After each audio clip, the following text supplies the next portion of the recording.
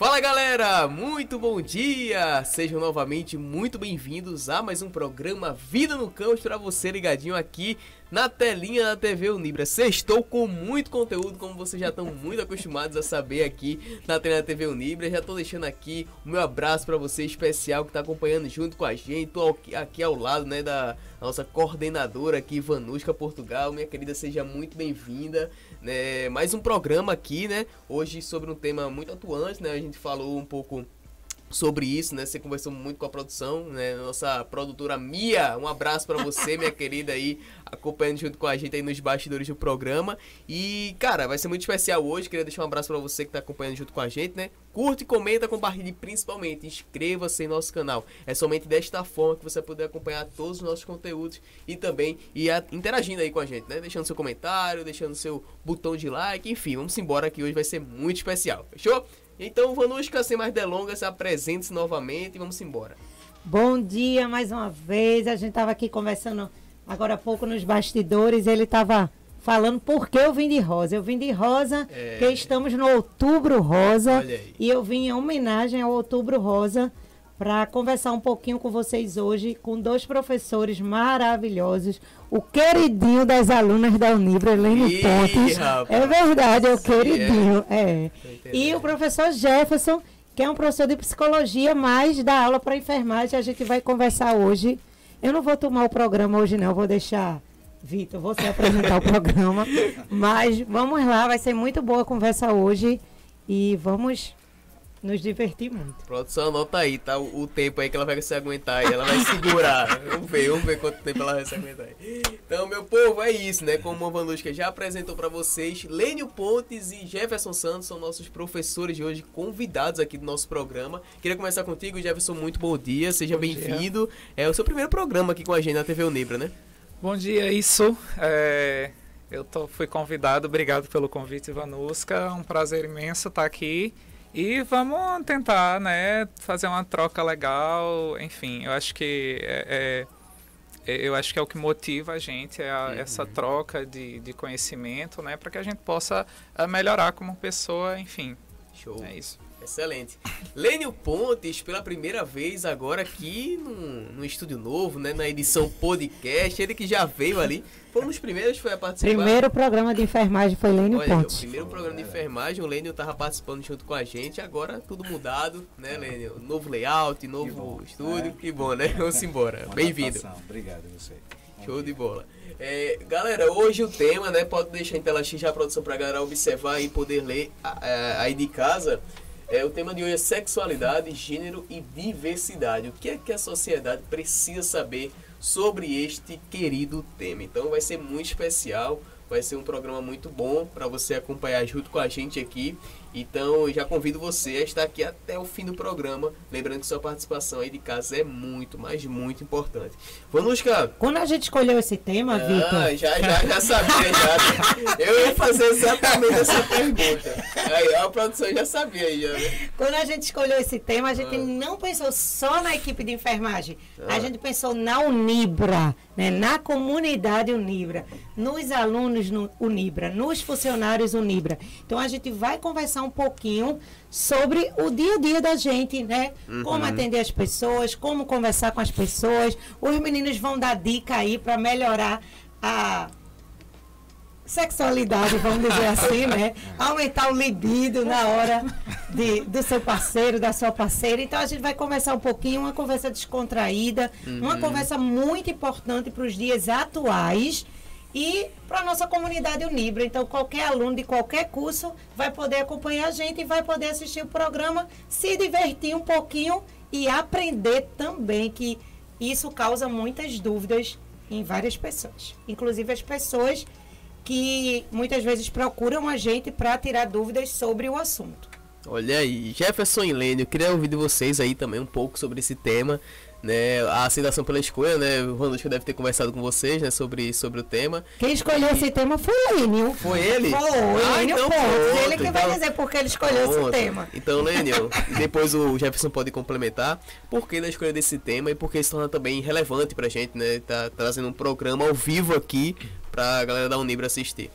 Quando a gente fala né, sobre esses, essas diferenças, né, essas sexualidades, em um tema atual, porque muitos alunos da Unibra estão nesse processo né, de, de desenvolvimento, de troca, de escolha. Uhum. E a gente, eu lembro muito bem que a escolha desse tema a gente estava indo almoçar num local bom aqui em Recife, um local muito propício a esse tema. É, que é o Mercado da Boa Vista. Ah, nossa, ali esquece, né? É, a gente foi almoçar lá e ficou aquela. Quando a gente se reúne, é, a, a maior parte dos assuntos sai em relação a relacionamento. Uhum. E aí nessas conversas a gente sempre traz a questão do que é bom, do que é ruim, do que pode melhorar, Entendi. as frustrações. E aí associado a isso a, a psicologia ela traz esse suporte, né? Uhum. É muito evidenciado porque a gente sabe que tem uma estimativa grande em disfunção sexual, né? Um do- um- quando se vai falar sobre sexo, todo mundo tem interesse, né? Quando se Uhum. fala em relacionamento, quando se fala em sexo, todo mundo abre os ouvidos e quer escutar, ou quer compartilhar, ou quer trazer uma vivência que foi vivida, se ela foi frustrante, se ela foi prazerosa, todo mundo quer falar sobre. Tô entendendo. E quando a gente traz um assunto tão antigo, porque isso não é de agora, né? A sexualidade, ela é muito antiga. E quando a gente traz esse tema, ele nunca deixa de ser clichê, ele sempre vai ser atual, né? Então, com essas questões de gênero e diversidade, que o Jefferson vai dar essa fala, né, com mais propriedade. Jefferson é especialista na área, viu? É. Falar de sexo Ele tá é bom. tendo ali ainda. É prazeroso, na verdade. É né, prazeroso. fala, né? E aí a Vanushka deu essa ideia assim, não, vamos sim, claro, né? A gente vai se, aí, se organizar e trazer. Nas minhas aulas eu trago muito isso porque eu falo de saúde da, da mulher, né? E as minhas aulas de anatomia e fisiologia é um cancún à parte, né? Porque todo mundo se diverte. Porque a gente traz isso de uma forma mais natural mesmo, né? A gente tá numa universidade e as conversas precisam ser claras Sim, sim. né? E aí a gente traz tira um pouquinho da questão religiosa, os tabus, as dúvidas, os mitos que os alunos muitas vezes trazem para a sala de aula e ficam muito retraídos, né? Então na sala de aula a gente faz esse contrato, um contrato que é de você não fazer juízo de valor do outro, da fala do companheiro, das perguntas que serão feitas e da forma como é passada. Então a gente precisa trazer um assunto desse, né, que gera muita polêmica muitas vezes, dependendo da conotação, dependendo da bandeira que você levanta, às vezes traz uma conotação muito agressiva. E a gente precisa trazer isso com mais naturalidade, porque sexo é natural, a escolha é natural, você se identificar com o sexo que você se vê no espelho é natural, e fazendo assim da melhor maneira possível, um assunto mais tranquilo, a gente deixa de letra e aí começa a ver um prazer mesmo, né, de falar sobre e de vivenciar o sexo. né? Show de bola. Jefferson. De vivenciar como, Lena?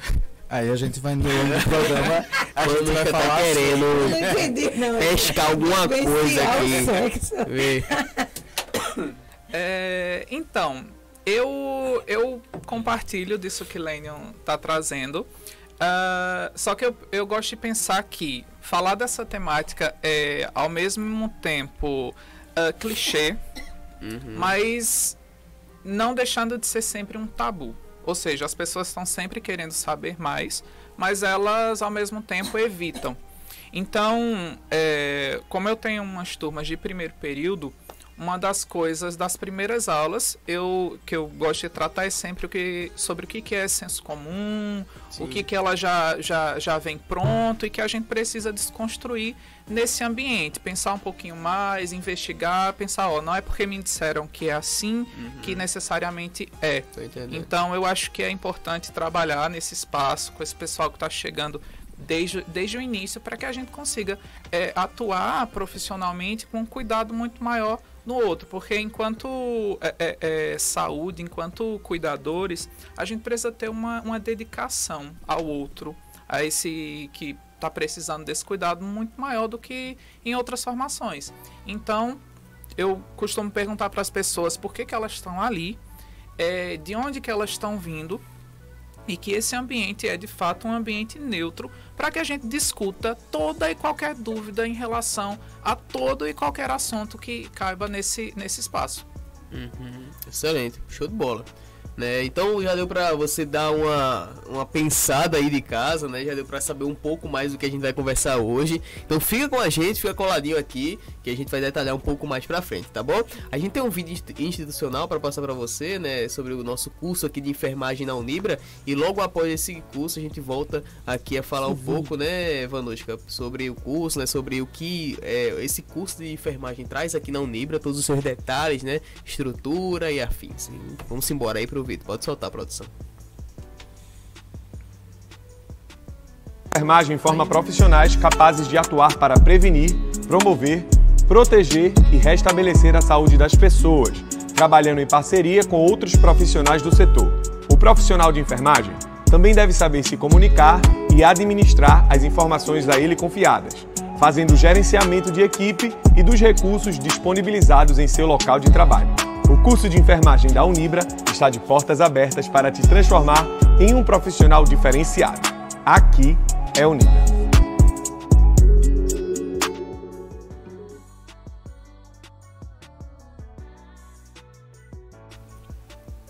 Então é isso aí, meu povo. Como vocês viram aí, é enfermagem aqui na Unibra. E, Vanushka, a gente sempre conversa, né, antes de a gente de entrar de fato no tema, sobre o curso de enfermagem aqui na nossa universidade. Então esse, esse papo naturalmente deve servir para, para o pessoal que ainda está entrando né, no período, no primeiro período aqui de enfermagem, né? O pessoal que tem interesse, né? Que vai ingressar aí no semestre 2023.1 tá em dúvida ainda, então o que que o curso de enfermagem traz aqui na Unibra? O que, é que ele tem de diferente é, das outras universidades e por que um aluno escolheria a Unibra e não outra outra faculdade? Por vários motivos. O primeiro sou eu, estou brincando. Mas a Unibra ela oferece para o aluno é, desde os laboratórios mais equipados que a gente pode ter com práticas de simulação realística até é, o encaminhamento para o hospital, que se inicia a partir do quarto período. Então, o aluno, a partir do quarto período, ele já tem essa vivência hospitalar no curso de enfermagem. A duração do nosso curso é de cinco anos, como, uhum. estão, como está aí. E os professores são mestres, doutores, sempre estão na área de atuação da disciplina que eles estão ministrando. Então, conhecimento para o aluno vai ser é, inexplicável nesse aspecto, uhum. né? Os estágios obrigatórios, como eu falei, os estágios eles são ofertados pela universidade, a gente que encaminha o aluno Hoje, o maior curso da Unibra, com o maior quantitativo de aluno, é o curso de enfermagem.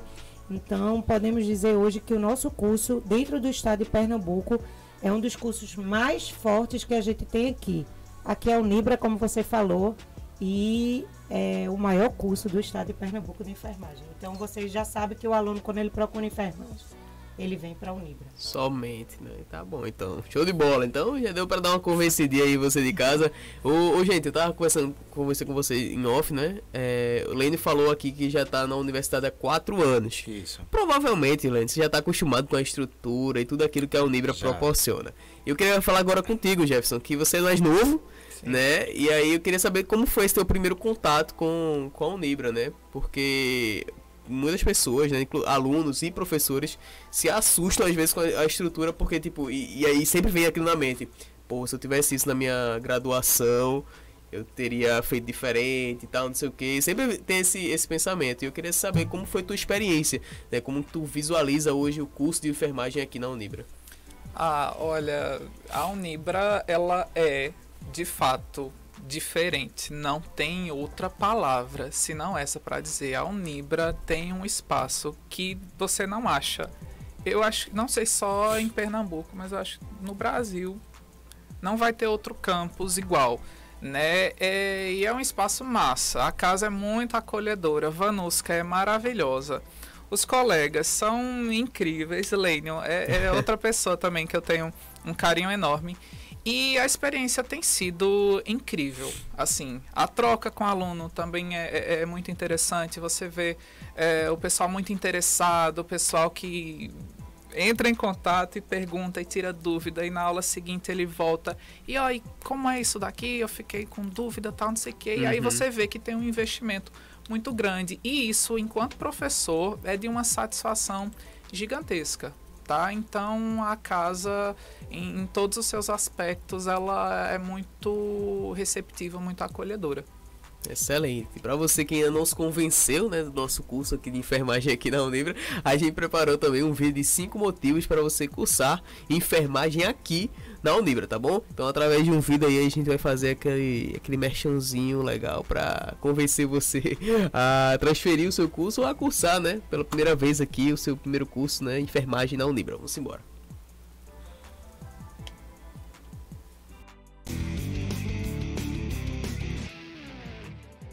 Os estudantes de enfermagem se deparam com diversas possibilidades para seguir a sua carreira. Hoje eu vou trazer cinco motivos para você cursar enfermagem aqui na Unibra. Professores especializados nas áreas e inseridos no mercado de trabalho. Estágios a partir do quarto período.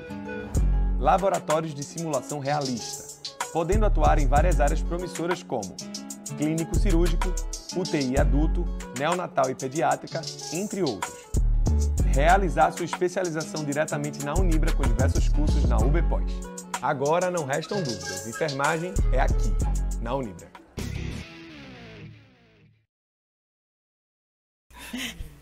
Excelente, meu povo. Então vamos lá, vamos até dar uma, uma, uma, uma, piadinha aqui, né? São cinco motivos ou 50, né? Porque né, tem mais, é. Mano, acho que tem. Tem vários motivos, cinco é pouco. Acho que é Unibra mas eu que você que passa de não 50. vai. Passa, Passa. você Ah, não não. vai se arrepender. Eu tô falando sério. Todos os alunos que transferem o curso para Unibra, eu digo para eles, vocês vão ser os meus é, minha, minha voz na sala de aula, porque eles ficam amando a universidade. Eles defendem a universidade como nunca. Eles vestem a camisa da Unibra, principalmente os transferidos. Então você que está em dúvida, pode vir para a Unibra que você não vai se arrepender. Eu digo isso para o aluno quando senta lá para fazer a dispensa de disciplina. Seja bem-vindo e eu tenho certeza absoluta que você não vai se arrepender. Excelente confiança, né? No, no- na estrutura, no trabalho que a gente faz. Show de bola. Então, meu povo, chegou a hora de a gente entrar de fato no tema. Vamos embora conversar. Os professores aqui estão ansiosos, se coçando pra falar. E eu vou aqui iniciar esse, esse papo com vocês, beleza? Contextualizando os conceitos. O que, é que a gente já pode eh, falar aqui de, de introdução pra galera? Queria começar contigo primeiro, Lene. Então, é, a- essa a parte dos conceitos eu vou deixar para Jefferson. Pode. Pronto. Porque, Tá certo. porque a gente combinou relação. Foi uma combinação brega, né? Não Tô determinado, mas foi uma combinação mais que a gente deixou manter uma, uma. ou Você fala, eu falo e a gente tem uma dinâmica aqui da fala para eu não tomar muita palavra. Eu gosto muito de conversar, gosto muito de falar também. E talvez aí eu vou tirar a fala do psicólogo. então essa parte Loucura, de né, contextualização deixei para Jefferson trazer com mais propriedades em relação ao tema. Ok. Vamos Então- embora? Então vamos lá. É, como eu falei antes, é, esse tema, ele ao mesmo tempo que ele é um pouquinho clichê, ele é sempre um tabu. Então eu acho que quando a gente está tentando construir conhecimento, quando a gente está tentando entender as coisas, sair dessa, dessa ideia de senso comum, a gente precisa entender as partes. Né? Então eu acho que é importante a gente dizer o que, que é sexo. Sexo está atrelado a macho e fêmea. A Sim. gente está falando de sexo. Quando a gente está falando de gênero, aí a gente vai trabalhar as questões que a cultura, que a sociedade atribuem como masculino e feminino, Certo. tá? Sexo, biologia, a questão ali anatômica e, e- e masculino e feminino ao que se é atribuído a, a, a esse gênero né? Aí a gente precisa falar também do que, que é a identidade de gênero e a sexualidade. Quando a gente fala de sexualidade, a gente vai estar falando ah, ah, do que esse ser vai ter como um atrativo para ele, né? Então não é porque a biologia diz que é tal que necessariamente a pessoa vai ah, ter essa atração apenas por tal. Não. Aí quando a gente fala de sexualidade, a gente vai estar falando do indivíduo que pode, vamos colocar, exemplo, o menino que pode ter atração pela menina, mas também pode ter pelo menino. E vice-versa, e assim a gente vai falando de sexualidade. Quando a gente está falando de, de, de gênero e de transgênero, a gente tá, vai, vai falar então Uh, quando esses quando, quando você nasce quando o bebezinho nasce hum. é, a gente vai associar a partir dessa genitália a partir desse corpo a partir desse sexo o que, que é do menino e o que é da menina quando a pessoa é transexual ela não vai ter essa identidade com isso que foi atribuído ou seja essas atribuições da sociedade da cultura uh, não vão fazer parte dessa vivência dessa pessoa, certo? Então eu acho que por aí a gente começa a montar esse panorama. Show. Fica alguma. Lendo quer complementar? Não, não, tá perfeito sua fala. Pronto, show de bola. Excelente. Deu Até pra... a gente tem uma, um questionamento, né? Na declaração de nascido vivo, hum. né? surgiu aí algumas possibilidades de, de não colocar o sexo né, na escolha lá. Sim. Sexo Sim, feminino e masculino. Né? Mas essa, essa declaração de nascido vivo, Lênin, não entra na parte biológica que ele falou? Isso. Então, porque justamente a questão de você se identificar com aquele sexo, né? Porque algum, alguns estudiosos entendiam que a criança naquele momento não tinha o poder de escolha. Ah, no caso, quando ele é, nasceria ali, não colocaria no, no é, não, é, não, não colocaria, mas aí ainda está em vigor, enfim ainda não está. Mas su, politicamente já se falou sobre isso, uhum. da possibilidade de retirar, né? É porque até agora, no caso, seguem biologicamente falando, né? Veja, é que as pessoas têm muita é, essa expectativa, né? Ah, eu entendi. Antigamente, na minha época, na minha certidão de nascimento, tem escrito a minha cor. Hoje em dia Isso. não vem mais a cor. Isso. A certidão de nascimento hoje não vem é, mais cor. Aí. É, antigamente tem lá dizendo que eu sou, até tem escrito assim, morena, nem existe essa uhum. denominação. Uhum. Mas na minha certidão de nascimento em 1900, eu não vou dizer o ano, eu tem lá dizendo isso. Na minha é morena. Na tua também, né? Pronto. E assim, Caraca, e não tem mais hoje. Você pega o certidão de nascimento hoje, não tem mais a denominação da cor. Eu acho que eles estão querendo fazer isso com o gênero também, também. não é isso? Entendi. É, não é que a ah, está querendo fazer. É porque, de fato, a gente tem, coloca uma expectativa muito grande, a gente coloca uma responsabilidade, perdão, muito grande em cima desse, desse sexo, desse que, é, que, desse que é macho e desse que é fêmea. Uhum. E a partir dessa genitália, uh, você define toda a vida da pessoa. Por exemplo, tem o que é muito comum hoje é esse chá de revelação. Menina rosa, menino azul. azul. Ou seja, a partir dessa genitália, a partir desse sexo, você começa, você não, as pessoas, a vida, a sociedade, os pais, começam a influenciar toda a sua vida. Então, o menino vai ter roupas que são atribuídas a, a essa masculinidade, que são as cores, a, a, as peças, os esportes, tudo que ela vai fazer é a partir dessa genitália. Só que aí você começa a crescer, começa a desenvolver e aí começa a perceber que não é assim. Você não se identifica com tudo isso que foi atribuído para você. Entender.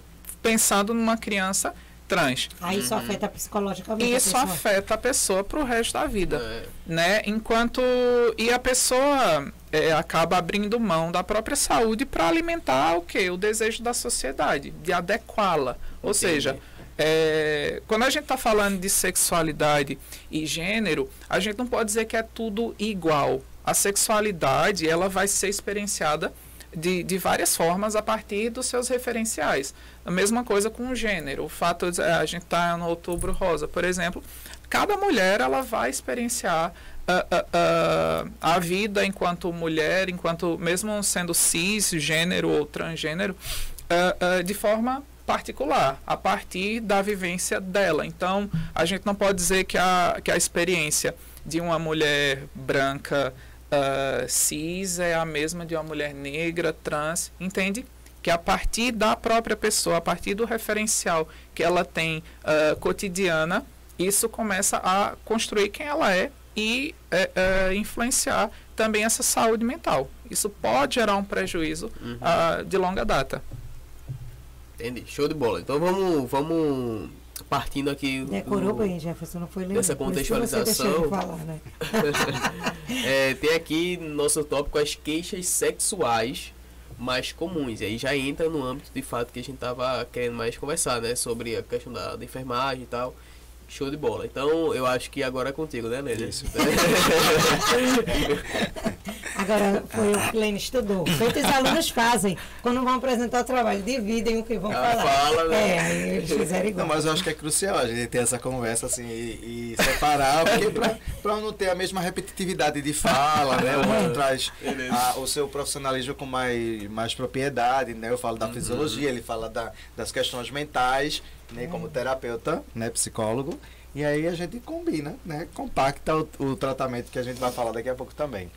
Quando a gente fala da, do tema, né, da sexualidade, né, da questão do desejo em si, né, a sexualidade é, é como o indivíduo ele se conecta, né, aqui, aqui setor ele se denomina como desejo, né, que ele sente a atração. E aí as queixas mais comuns que a gente costuma ver muito, né, a gente tem aí um- uma, uma, uma terminologia chamada disfunção sexual Ah, que em maneiras gerais ela tem um aparato de outros fatores que podem estar ligados a ela diretamente. Então assim, por exemplo, uma ejaculação precoce, uma diminuição de ereção, diminuição de libido também, né? A gente brinca muito com isso, né, Vanuska? De libido. libido baixa ou libido excessiva, né? Quando o A indivíduo tá... gente brinca assim, quando tá de mau humor, hoje eu tô de libido baixo. hoje eu tô sem libido. Então essas queixas que a gente está falando aqui sobre a, a percepção do, da, da não, do não toque, né? Às vezes uma estimulação de tato, nem sempre eu vou ter um desejo, uma, uma, uma ereção, por exemplo. As fases dessa queixa, né, da sexual, né, os trâmites para um indivíduo, seja homem ou mulher, ele parta por quatro etapas, né? Ele tem a questão da, da percepção do desejo, para poder, poder ter a excitação, e aí em seguida vem uma emissão do orgasmo, seja masculino e feminino. E por último vem a resolução, que é o relaxamento ali do corpo fisiologicamente. Nem sempre essas quatro fases estão dentro do parâmetro que a gente diz que é saudável. Né? Porque se a gente pegar um grupo específico de homens e mulheres que estão entrando numa idade aí mais avançada, onde a gente tem a menopausa, que a gente tanto fala na questão do outubro rosa, essa disfunção hormonal feminina, também a gente tem andropausa masculina, diminuição da libido, diminuição da ereção, e aí vai utilizar algumas cápsulas, né, aqueles azulzinhos famosos ali, para ajudar no sexo em si. Hoje, Tem algumas medicações também, né? Até antes dessa andropausa, tem algumas medicações que elas interferem também no processo de sexualidade, né? sim, até porque um- um uma pessoa que é hipertensa, diagnosticada, a longo prazo essas medicações vão diminuindo justamente essa libido. Né? É muito comum acontecer.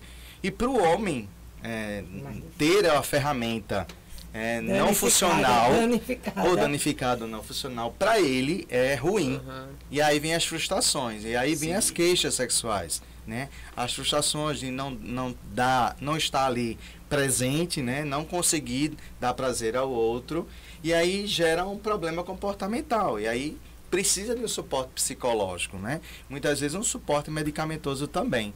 Então, essas queixas que a gente encontra nos consultórios, né? E na enfermagem, na atenção básica, quando o enfermeiro tem uma autonomia gigantesca em relação a isso, porque a gente vai diretamente estar ligando, lidando ali com mulheres que vão fazer o exame citopatológico, né? Isso anualmente, mensalmente, enfim. Mas a gente não deixa de falar sobre se ela sente dor no ato sexual, se ela sangra no ato sexual, se ela sente desejo pelo marido, né? Se as posições também, isso pode interferir também. Eu já recebi relatos lá no consultório na época, mulheres grávidas, né? Onde a libido dela ela é altíssima, né? Porque no assoalho pélvico, quanto ela é grávida, existe uma, uma quantidade de sangue que ali já circula por conta da produção do feto que está em desenvolvimento. Sim. Diferente de uma mulher que não está grávida. Então, a mulher grávida, a libido dela já é aumentada. Uhum. E muitas vezes os parceiros não entendem a mudança fisiológica anatômica. Sim, a mulher sim. vai ter um aumento da mama, a mulher vai ter um aumento da, do, do abdômen, né? Ele vai ficar mais globoso, enfim. E aí isso. Diminui o desejo do homem. Exatamente. E isso pode gerar para alguns homens a diminuição do desejo. E Alguma- aí para ela, né, tem essa questão da frustração de não ser desejada. Cara, é, é muito louco isso, né, velho? Porque é uma coisa na outra, ó, é louca, né, velho? E, e, e aí eu já pulando, inclusive, pro próximo tema, pro próximo tema não, pro próximo tópico, perdão, é como é que a terapia pode me ajudar? Porque são tantas coisas que você assim, precisa se preocupar e ao longo do seu desenvolvimento, como homem, como mulher. Você acha que essa rejeição, Jefferson, dela quando está grávida pelo parceiro, isso afeta quando ela tem um bebê que ela tem o, o a rejeição lá do bebê, o, a, A depressão pós-parto? Ah, com certeza, isso está sim relacionado. ahn, como o Lennon trouxe antes, é, é, os problemas eles são inúmeros assim, né? Então essa questão da percepção de achar que o marido está desinteressado, isso pode trazer um adoecimento para essa mãe, Ah, ah, porque a gente está falando da mudança no corpo, né? Quando você está falando de um casal, você, você- é de se imaginar que algo atrai ali entre eles, né? Tanto essa mulher va- valoriza alguns aspectos físicos desse marido, quanto esse marido ah, admira aspectos físicos dessa esposa. E quando, pensando no caso da gravidez, o corpo ele se modifica, Sim. né? Então a percepção que esse marido eh, eh, faz desse corpo pode mudar, né? Pode ser que você não tenha um entendimento tão bom do que está acontecendo, desses processos, e isso pode trazer ah, ah, um adoecimento para o casal. Não estou falando que é só para a esposa ou só para o Né? marido. E essa mulher também tentando entender ah, essa, essa possível rejeição desse companheiro, ela pode adoecer a partir do que ela está pressupondo também, de como ele está enxergando, de achar, sei lá, ah, eu não estou atraente para o meu esposo, ele pode querer agora arranjar uma outra parceira, enfim. A, a, a, o que pode acontecer é uma série infinita de coisas, de percepções. Isso, isso Né? são casos que trazem pra você, já, já trouxeram pra você e. Assim, Veja, clínica. Em termos de gravidez, não. Mas assim, eu sou especialista em atendimento de casal. E quando a gente tá, pensa, né, ah, procurou psicólogo, casal procurou psicólogo, é tá crise. porque. É, e aí, ah, sei lá, estão para separar, mas não querem. Uhum. Mas não. Porque qual que é a proposta da psicoterapia? É ah, ah, em casal, terapia, psicoterapia para casal. É tentar articular ah, ah, algumas conversas que sozinhos eles não conseguem. Então, o, o psicoterapeuta ele entra aí quase como um mediador de conflitos. conflitos. Exatamente. Veja, é, Eu vou, soltar, eu vou soltar uma brincadeirinha aqui. né? Que é o seguinte, quando a gente traz. A gente sempre brinca assim com relacionamento, né? E pra apimentar essa relação, a gente pode colocar uma terceira pessoa. Que Mas, conversa é a- essa? não, eu tô falando assim, mas a terceira pessoa. Tô tentando entender. calma. Essa, terceira, essa terceira pessoa que a gente coloca no relacionamento é justamente o, o terapeuta. Eu vou, eu vou entregar, viu? Não é trazer uma outra pessoa, é uma pe- pessoa que possa ajudar. Porque às vezes, né, a mulher às vezes se entrega à maternidade, né? Não, Então, ela já, o marido já vai ter essa questão anatômica Uhum. e a mulher ela se isola, então ela vai viver a maternidade dela. E eu digo para as alunas, né? Jamais esqueçam do seu corpo. Porque você pode viver sua maternidade, você pode realmente ali ser 100% no seu filho, mas jamais você pode esquecer de você, porque tem a questão da autoestima ali, que pode ser prejudicada. Então, quando ela verifica que o corpo muda e que não tem mais o desejo masculino, é porque ela se dedicou 100% ali, né, ao bebê, mas ela não pode esquecer que ela tem um marido, né? Ela, a, a mulher é muito complexa, né, muito intensa nas, no que ela vive Uhum. na sua, da sua sexualidade, na maternidade, no seu trabalho. Vanusca é muito intensa no trabalho dela. Ela vive 100% isso aqui. Então, assim, a mulher, até na, na questão da, da sua relação sexual, ela é muito mais intensa do que um homem. Porque o homem é só físico, a mulher não. A mulher tem outras questões que quer dizer que o estão homem é só físico, ela é. só físico. É. Caramba, isso é um. Cara, É porque a mulher ela consegue ter múltiplos orgasmos, né, Zalé? Ela consegue viver a, a ideia muito mais plena do que o homem. O homem ele é físico, vai ter a, a concepção, vai ter a resolução, vai ter a emissão do gozo e tal, mas a mulher ainda está lá no processo, entendeu? Então, muitas vezes, ao terminar um coito, por exemplo, o ato sexual, a mulher quer estar ali coladinha, né, tal, e às vezes o homem não quer. Às vezes o homem faz e sai. Pra ele já acabou ali. Então, às vezes a mulher diz assim, ele não me ama, né, tal, e aí vai pro outro lado emocional, E aí começa os Ah, tô problemas. entendendo já. Me, me, situei. tô entendendo. Me situei. Então, a- às vezes, essa, essa conotação da mulher se entregar à maternidade em si também pode ser um, um dificultador que precise de, de uma pessoa, da Aham. terceira pessoa, que possa ajudar o casal. Né? Às vezes também até a posição Uhum. né, pode ajudar. Então, cabe a gente que está diretamente ligado na área da saúde e atendendo essas pessoas, né, tá orientando pequenas coisas que podem mudar e a autoestima é crucial para a questão de você se valorizar, né? E aí vem outras coisas, né? Eu costumo dizer para as alunas que tudo se melhora com a boa alimentação e atividade física, não tem como. Até nas, nas questões das patologias ginecológicas associadas aos anticoncepcionais, por exemplo, vão ajudar. Mas isso é crucial, crucial. A alimentação e atividade física em qualquer tipo de Uhum. relacionamento. Tá? Então, quando a gente fala de atividade física, não é só ir para uma academia, né, e malhar, malhar, não. Tem outras técnicas que a mulher pode estar atribuindo a essa terapia, como o pupuarismo mesmo, né, a próprio fortalecimento da musculatura pélvica. Uhum. Estudos já mostram que ela tem uma- um aumento significativo em relação ao seu prazer, em relação até a dar prazer ao outro, né? E aí a gente começa a viver que a mulher ela não precisa de um homem, né? Uhum. Para se, se satisfazer sexualmente. Precisa assim. Não. Eita Deus do céu. Meu Senhor. É, E a pessoa o- vai namorar sozinha, o- Como é que a pessoa É, namora? que discuss- é, não, não aí. isso não. Daqui a pouco eu vou dar algumas dicas, né? Olha Justamente, ó, algumas dicas que você pode ajustar. namorar Tem sete dicas aqui, né? São sete, né? São várias, mas assim eu escolhi umas sete Tá porque são as mais comuns. Ô, ô Jefferson, tem como tu contar alguma história assim pra tu, é, que tu já viveu, que tu já vivenciou? Claro que você não vai citar nome de pessoas né, do tempo, porque isso é antiético pra caramba, não pode citar isso. Mas tem alguma história que tu, assim, pode ilustrar pra galera que tá assistindo de casa, que explique melhor alguma situação assim que você viu e tipo, pô, Eu tenho uma história. tem? Eu tenho uma amiga que se separou do marido porque toda vez que acabava a relação ele dormia. É isso, cara? É, ele. ele Mas é, resol- é resolução de fazia, ele dormia relaxamento. Na hora é muito chato Na isso. hora? É, Aí, aí, aí, pô, acabou por isso mesmo. acabava. Aí ela acabou, ela disse que não aguentava Ah, mas- isso não. Mas acho que não era só por isso, não. Foi por, mais por isso. Ela me disse, eu separei mais. Outras coisas eu aguentava dele. Mas isso eu não aguentei, não. Enfim, Jefferson. Enfim. Ó, primeiro, eu queria dizer, na verdade eu ia perguntar se eu podia deixar meu contato, mas pode ser que agora seja mal interpretado. Eu não quero ser o terceiro na relação de ninguém, tá certo? Eu continuo sendo psicoterapeuta. Não, mas você entendeu que o terceiro é aquela pessoa que vai ajudar, Mas né? porque o ele não é assim, ele começa a Aham. soltar piada, a gente fica tendo que entender o que ele tá falando. Aí isso foi outra piadinha Ele dele. solta a bomba e depois ele explica, É, né? é. Ó, eu não, eu não queria contar uma história específica, mas eu queria contar histórias a partir do que, do que a gente coleta.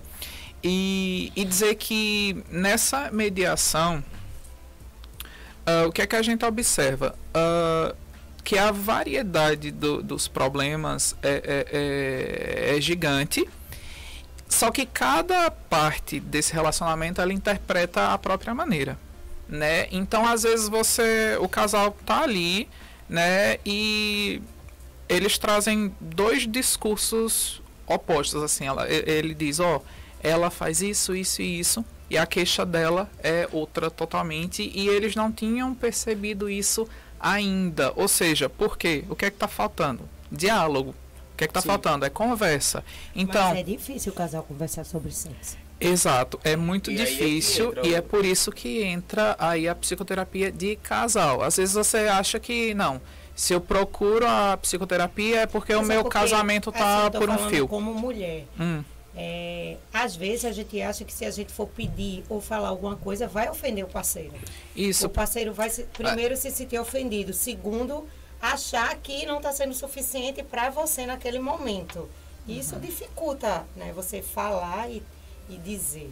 isso está relacionado à questão de gênero entre homem e mulher, a questão de eh, machista, por exemplo, de achar que o homem eh, tem só ele pode ter preferências no sexo, por exemplo, e aí a mulher tá ali apenas para servir e a gente sabe que não é assim, né? É uma troca, ah, tanto esse homem quanto essa mulher vai tá, vai querer ter esse prazer. A mulher Sim. não é só uh, uh, não foi feita apenas, apenas não, peraí, ela não foi feita em, de maneira alguma para servir uh, e satisfazer esse homem. Uhum. Então, enquanto casal, é importante discutir o que, que é prazeroso, por exemplo, porque sexo é bom, é, mas que sexo é esse? Não é todo sexo que vai ser bom, não é toda prática. Você falou, por exemplo, das posições. Às vezes você está fazendo o, o, o, ato de um jeito que não é confortável para você. E colocar isso na mesa, falar sobre isso, isso é muito importante, né? Porque em atendimento de casal a gente fala muito da configuração da relação. Às vezes quando as pessoas se conhecem, começam a namorar, vocês têm uma configuração. Aí vocês casam, ficam ali numa configuração. Aí uhum. chega filho, estão numa configuração. E essa configuração ela vai mudando. Ou seja, você não começa o seu relacionamento e termina ele e do mesmo jeito. E por que diminuir as relações sexuais ao longo do ano? ao longo dos anos. Veja, eu poderia dizer para você porque essa configuração mudou. Ah, que configuração essa que tu tá falando aí? Por exemplo, esse, esse, a chegada desse filho. Mas se não tiver filho? A própria condução, amigo, da, aí, amiga. A própria condução de usar a cama apenas para dormir, né? E você não tem essa conversa com o parceiro, cai na rotina do papai e mamãe. Isso. Uhum. E essa rotina do papai e mamãe, às vezes, ao passar dos anos, vai desmotivando o seu interesse pelo outro. E não, aí. E não existia preliminar. Isso, porque na verdade no início tudo é bom, né? Então para você aquilo tá satisfatório, mas ao passar dos anos, a cama ela fica condicionada apenas a relaxamento. E aí a gente precisa mudar, com a ajuda do terapeuta, a mudar técnicas para ajustar até colocar uma luz diferente que remetam que naquele dia, naquele horário, naquela cor, né, vai ter outras coisas, né? Não é se limitar tecnicamente, porque para não cair em rotina, né? Porque quando a gente se programa para fazer um, um, um, jantar a dois, um jantar mais programado, né? Roupas específicas, isso pode cair na rotina também. Então, às vezes, uma situação nova que você viva. Ah, o quarto e a cama não é só ali para ter bons relacionamentos. Você pode trocar, você pode ir para a cozinha, você pode ir para a varanda, né? Você pode ir para o quintal, você pode ir para uma piscina, para uma praia, né? No carro, enfim, com segurança, lógico, para a gente não ser ter um problema de atentado ao pudor ali, né? Mas essas modificações modificam a rotina de um casal. Isso melhora, né? E aí vem, lógico, com outras situações aí, né? Mas Seja... isso é verdade que eu disse. Todo casal, de longo tempo, ele diminui. Eu posso tentar dar um exemplo aqui, eu vou usar comida, porque eu acho que comida é um jeito simples de explicar algumas coisas. Uh, digamos que você coma, sei lá, feijão e arroz todos os dias, de manhã, é, no almoço e à noite. E você fica. Em algum momento você gostou muito desse arroz e feijão ali. Só que vai chegar uma hora que talvez você pense, poxa, poderia comer outra coisa. E ah, que coisa é essa? Não necessariamente tem que ser batata ou carne ou outra coisa. Mas só o fato de você mudar esse tempero, o tempero desse arroz e desse feijão, talvez é, é, é, te entregue é, uma outra satisfação. Tu pegou, tu captou, por exemplo, é o que Leina está falando sobre mudar. Não tem que ser só papai e mamãe. Mas as pessoas, enquanto casal, parece que elas têm um tipo de, de vergonha de dizer para o outro uh, da necessidade delas, de dizer, ó, oh, não tá legal para mim, vamos tentar diferente, vamos fazer de outra forma, né? E, e aí, às vezes é só isso que falta. É só articular essa conversa. E aí, pegando o teu gancho, a, a mulher, ela, ela não precisa ser só passiva da relação. Né? Ela pode ser ativa da relação. Ela, ela não precisa ser arroz, ela pode ser o feijão da relação. Ela pode ser o, a cereja do bolo, né? Então ela pode ditar as regras que ela quer e ela pode modificar isso, né? a, nas aulas de anatomia eu digo que a mulher ela tem um poder crucial do seu aparelho genital feminino, coisas que o homem não vai conseguir nunca ter. A força que vocês têm. Né, de, de, de dominar a situação, de querer fazer né, no momento daquele ato uma coisa espetacular. Né? Então a mulher ela precisa tirar esse contexto né, de ser a passiva das tomadas de decisões. Ela pode chegar ali e ter uma boa conversa com ele, de saber qual a melhor maneira dela sentir prazer. O casal precisa se descobrir também, mas antes eu preciso me descobrir. Sim. Né? Eu preciso saber dos meus pontos. Então, às vezes é uma carícia, é uma fala no ouvido mais, mais junta, né? Aquela voz mais ásperas, uma mão ali na coxa. E isso aumenta já o processo circulatório, aumenta ali o sangue naquela área. Tá? Então, a mulher precisa ouvir. A mulher ela, ela é muito mais delicada, mas ela precisa ouvir para chegar no clima. Né? Por isso que eu falei, o homem é mais físico, né, muitas vezes, né? E aí o casal às vezes pode se perder numa conotação de querer ter um filho, né, por ela ter a, por apresentar talvez algum probleminha da não concepção. E aí esse sexo feito apenas para ter o filho Aham. pode gerar um desgaste na relação também, É, tem mulher que fica. né? O tempo todo quer transar porque quer ter o filho, quer ter o filho. Sim. E o homem nesse momento, ele pode ter a diminuição da sua ereção. E para ela vai ser isso ruim, Sim. né? Porque aí já vai ter outros probleminhas que ela vai estar associado aí ao não desejo, ou ele está saindo com outra, e ela vai começar a investigar, né? Os processos é, naturais é, da emissão do espermatozoide, por exemplo, a consistência, a quantidade, enfim, outras questões aí que vão surgir nesse relacionamento. É isso. Show de bola. Então, galera, é massa, viu, velho? Gostei do, do assunto. Interessante. Sendo que a gente tem, pra gente encerrar, né? A gente tem Não, sete quero que eles dicas. expliquem lá, O que a quê? gente não falou de gênero. O que mais Eu você quer, que vocês gênero? expliquem os tipos de gênero. Ah, ah. Vamos Ah, lá. é, é, me faça a pergunta, o que é que você quer saber? que você me explique, que você me, me explique lá o, a sigla lá, o que significa a sigla que antes era só LGBT e hoje teve um aumento da sigla. O E a que, mais, né? é, o que é aquelas denominações. Tá, vamos lá, vamos tentar então explicar essa sigla, ah, começando do começo. Tá, bom. É, vamos lá. L é para lésbica. então, é a menina que tem interesse é, é, é, pelo semelhante, ou seja, por meninas. Certo. Gay, menino que tem interesse por menino.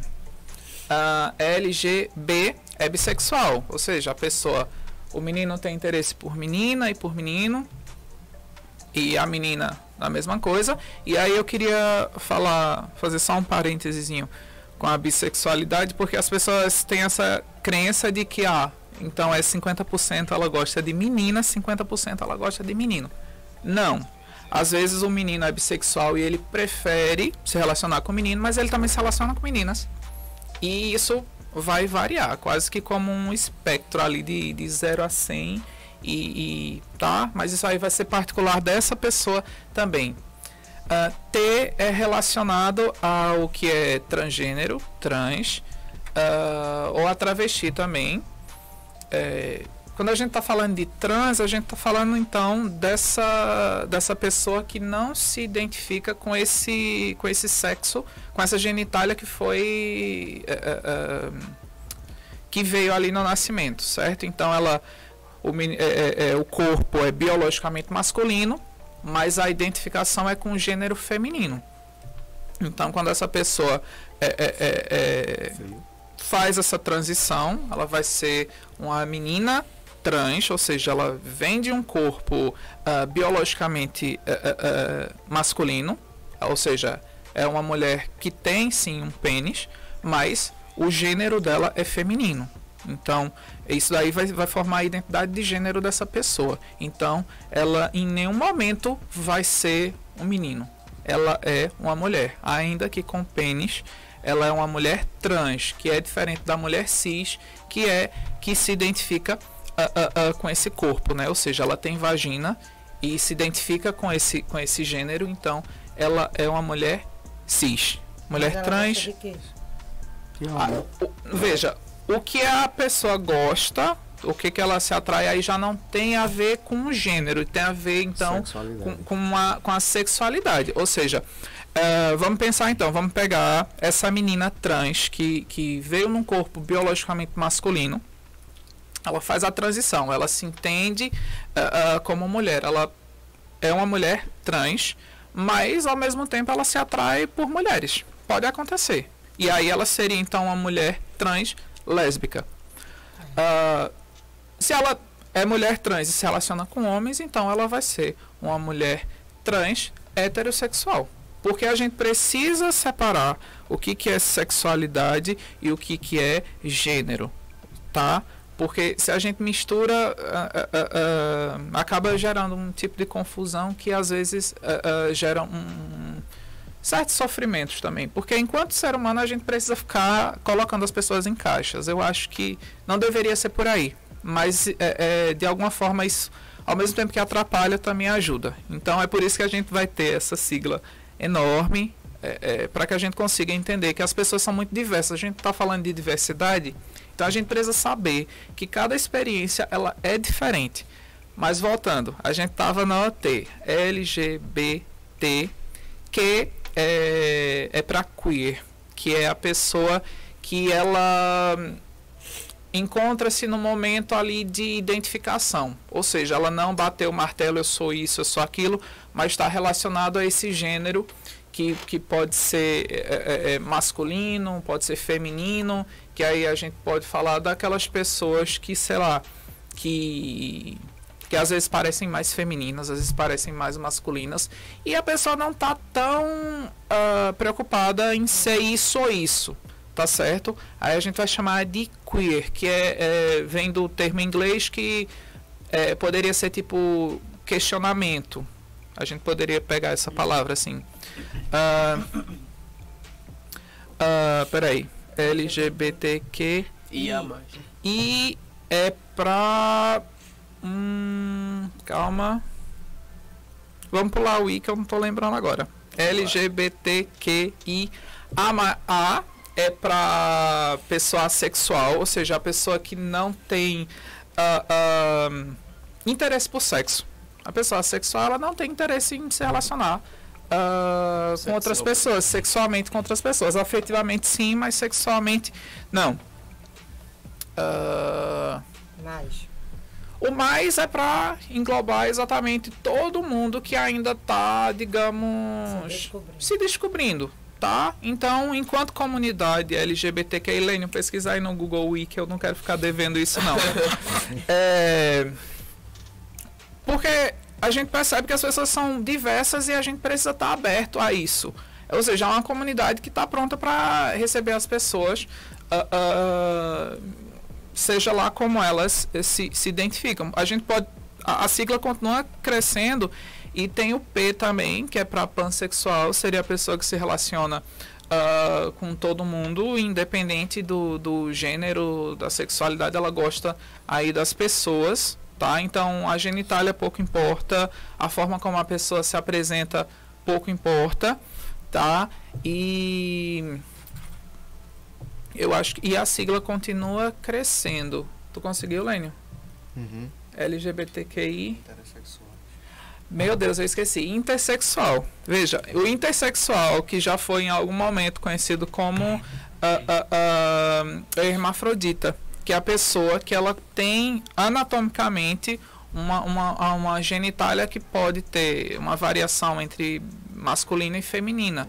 Um caso muito famoso foi a de Roberta Close, né? E a gente vai chamar essa pessoa de intersexual, que ela tem ali sim uma, ela pode ter, pode apresentar uma mescla entre uma, uma genitália e, eh, masculina e feminina e pode estar relacionado também a própria questão do gênero da pessoa, tá? Eu acho que acabou. Não, as dicas. Não, é, acabou a sigla. Eita, e esse tratamento né, já começa com crianças lá, né? Já que se identifica, Sim. ela já inicia um tratamento muito precoce, que é. antigamente não se fazia, né? É verdade. É, e o, o, o termo não binário entra em qual dessas aí? Não binária, porque tem também o N, N. É LGBTQIA N+. N+. É P, PN+, eu acho, porque aí é o pan, pansexual, que eu falei anteriormente, Sim. e o N que é do não binário. Veja, o não binário, ele não vai se identificar nem com o gênero masculino e nem com o feminino. Seria uma outra coisa que a gente ainda não consegue definir hoje muito bem o que seria essa outra coisa. Mas veja, a pessoa se desobriga de ser masculino ou feminino. E é por isso que tem esse mais, porque cada vez mais as pessoas começam a desconstruir essas construções sociais, porque a gente está falando de fato de uma construção feita por nós que eh, violenta as pessoas, né? Enquanto profissional de saúde a gente precisa entender um pouquinho mais sobre isso para que não é, continue agredindo essas pessoas, mesmo na tentativa de ajudar. Né? Então a pessoa, ela que sabe quem ela é, como ela é, o que, que é importante para ela ou não, se ela quer se encaixar em uma dessas caixinhas ou não, né? Por isso é, é, das siglas, você, ó, não, não sei, não sei, não é uma, não é para mim agora saber e ela segue a vida dela, mesmo uhum. sem essas essas respostas. Beleza. Lênio, e agora chegou tua hora aí de brilhar. Sete dicas para nós melhorar a vida sexual né? Sua vida daí de casa, nossa vida, enfim, vamos embora aí. E outra, é, depois a gente encerra, né? Já tá dando no, é, na hora aqui. Tem um livro também pra gente indicar, vamos embora, vai lá. Vai, então vamos lá, né? Então o primeiro ponto é melhorar a autoestima, é crucial isso, você se reconhecer e você conhecer a sua anatomia, independente do gênero você uhum. conhecer sua anatomia, quais são os pontos que vão lhe dar prazer ali. Então, a partir do momento que você se conhece a anatomia. E como é que a pessoa se conhece? Se tocando.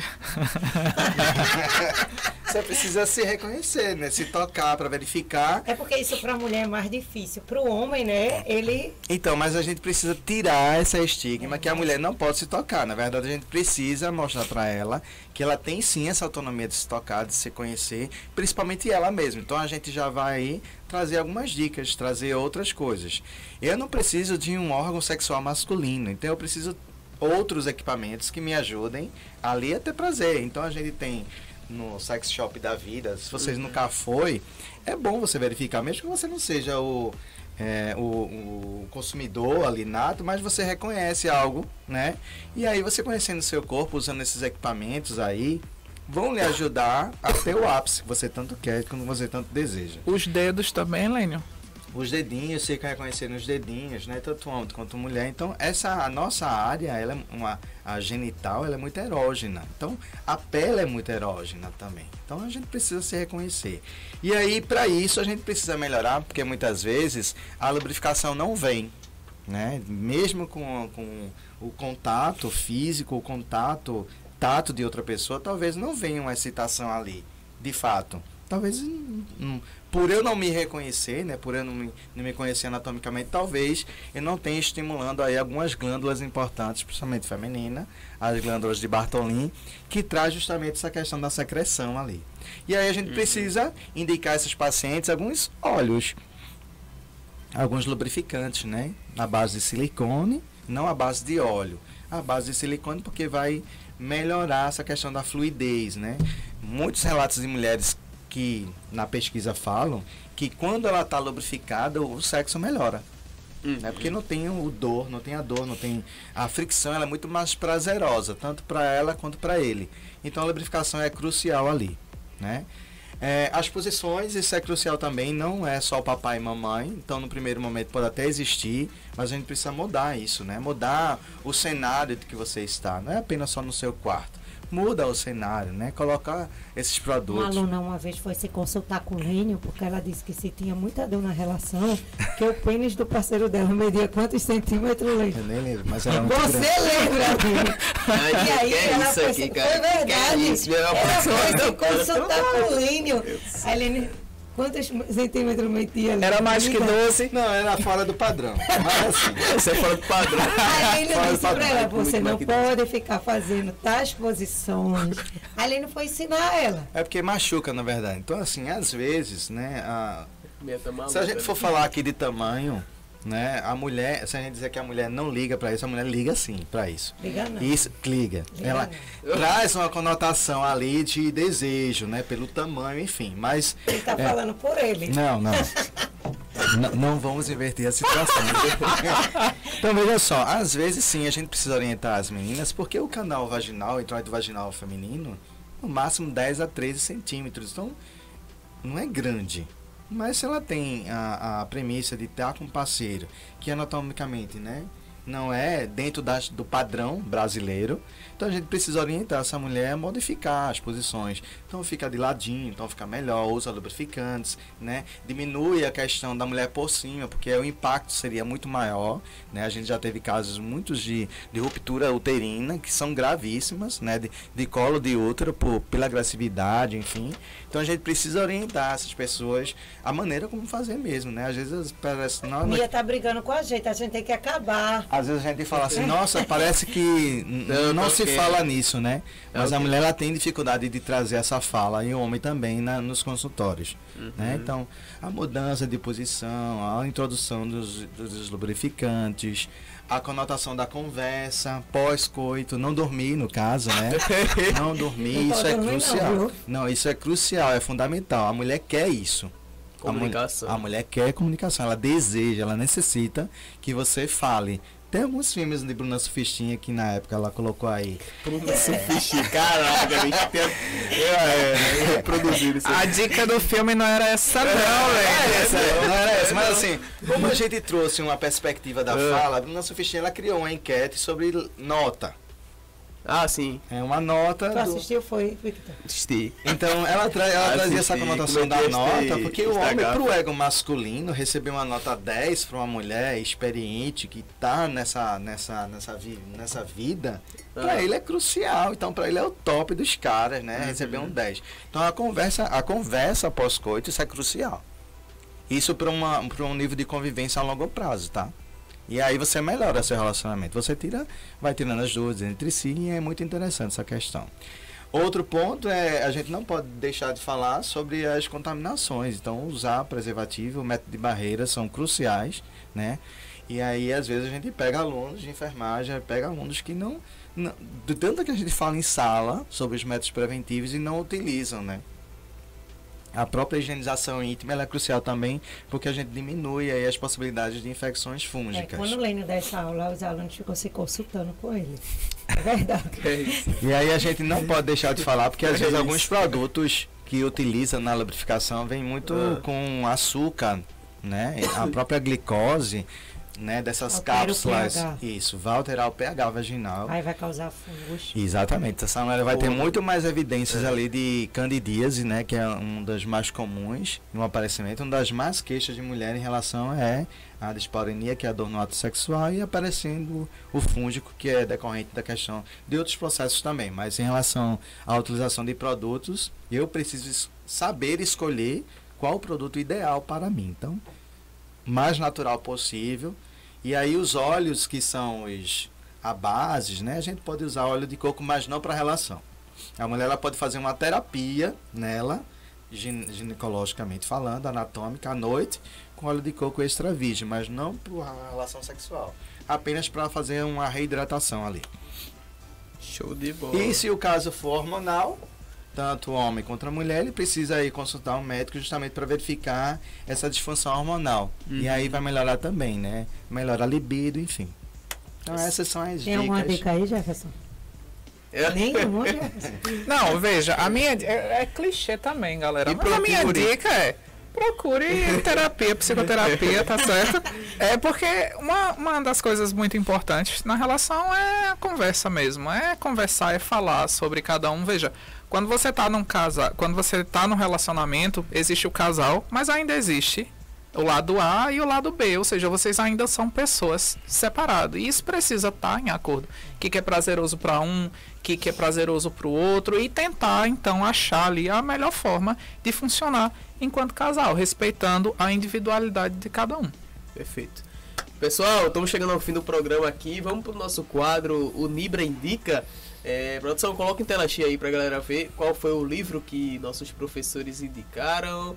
Uh, este livro é gay, do James Dawson. E hétero, é e bi, e trans. É, é exato, nem vi ali. É, e hétero, e bi, e trans. Então, quem foi que indicou esse livro? Foi eu quem indiquei. Você, né? Então fala um pouco sobre ele. É, esse livro ele vai tratar tudo isso que a gente falou hoje de uma forma muito humorada, de uma forma muito tranquila. Ele vai trazer situações que aconteceram com pessoas uh, e, e, ele vai, vai tentar dizer que não tem nada demais em ser gay, em ser trans, em ser, nada, tá?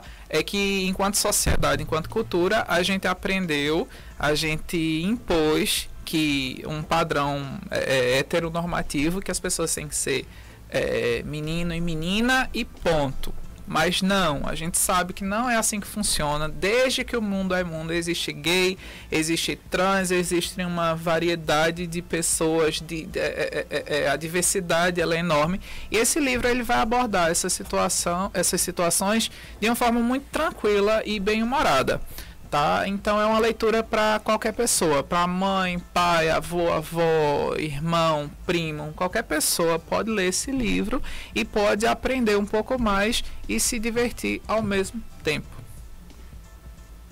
Show. Mais algum próximo, aí que gente. vocês querem Eu acho que é, são indicar? Filmes agora. São, Não, são filmes, é? Pode passar aí. Ah, tem a, a Garota Dinamarquesa, 11 de fevereiro nesse cinema. É, passou já? Há muito tempo. Passou muito tempo. Eu não conheço. é muito é. bom esse filme, que é uma história verídica. Isso. E eu assisti esse filme, fui até assistir ele no cinema. Muito interessante. E o mais. Eu não vou contar o final, não. Eu ia contar não, o final. É, não, pelo amor de Deus. Já no final, é. não, né? Não, porque o final. Ele fica tão interessado em virar né, uma mulher que ele tenta fazer até um implante de útero. No filme não mostra isso, mas eu li o livro e ele tentou fazer né, um implante de útero e aí ele morreu de uma infecção por conta disso. Porque ele queria gerar um filho. Mas... Contasse o final, né? É. Não, eu não conto o final do filme, porque o filme não conta isso ah, que eu tô tá. falando no final. É o livro. Só mostra que ele foi fazer outra cirurgia e, e, e morreu. É, esse, é, esse spoiler que ela tá dando é no livro, tá? É no livro. É, no filme ele não, é ele não traz essa conotação, não. É. Excelente. Mas no filme ele traz uma, uma, uma bem interessante porque ele, ele namora, ele é hétero. Não, ele é hétero, ele é hétero casado. Isso. Mas ele se descobre que não é aquele corpo que ele se enxerga. Né? Feito a gente explicou. Não é aquele corpo que ele se enxerga, não é aquilo que ele sente, ele começa a se atrair por homens. Aí é quando ele gosta, na verdade, das roupas femininas, das meias, dos mas laços, ele das fitas. por homens também. Então, mas depois que ele tem o contato com o homem, ele não, não é aquilo que ele quer. Ele quer viver a mulher. A mulher. Mas não se interessa por homem. É meio que, né? Entendi, entendi. Mas só assistindo o filme para trazer essa. O que a gente falou aqui. E é verídico o filme. Massa demais. Então a garota na Marquesa aí tem algum aplicativo que a gente consegue ver e Netflix, esse negócio aí? Tem Eu Netflix, acho que Netflix tem. tem, tem né? Passou já na televisão. É. Pronto, então fechado. Então, é bem acessível. em casa. Bem acessível. Né? Aproveita esse fim de semana. Não vou ver. Ah, tem outra? Ah, é a série, né? Não, essa série aí todo mundo conhece, né? Não precisa nem dizer. Eu é. nunca assisti, não. Tu nunca assistiu, não, Nem Ah, pra nós que eu tenho é. que assistir. Essa série. Tem que assistir. Milênio fica me indicando sério. Ele fica, assiste isso, assiste isso. Essa série é perfeita, ela tem uma, uma linguagem né, é, adolescente, enfim, mas ela traz muitos temas importantes. Assistiu, né? Mia? Me assistir. Sobre, é, sobre a disfunção sexual, né? Sobre os problemas, sobre os tabus. Então ele, ele o, o menino, né? Que ela é filha de uma sexóloga, psicóloga, Isso. eu acho.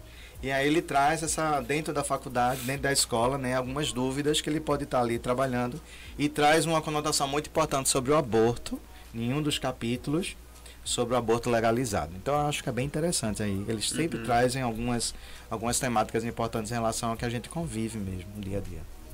Excelente, show de bola. Então é isso, né? Terminamos é isso, aí terminou. esse Libridica aí. Terminou. Três indicações feras aí para você acompanhar no, durante o fim de semana. Caso queira comprar o livro, é, acha fácil esse livro? Amazon. Meu Deus, a gente Amazon, ultrapassou né? meia hora tá de programa. Não, mas a gente começou atrasado, né? Foi? Foi, tá, tá tudo bom. certo. Tá bom? Tranquilo.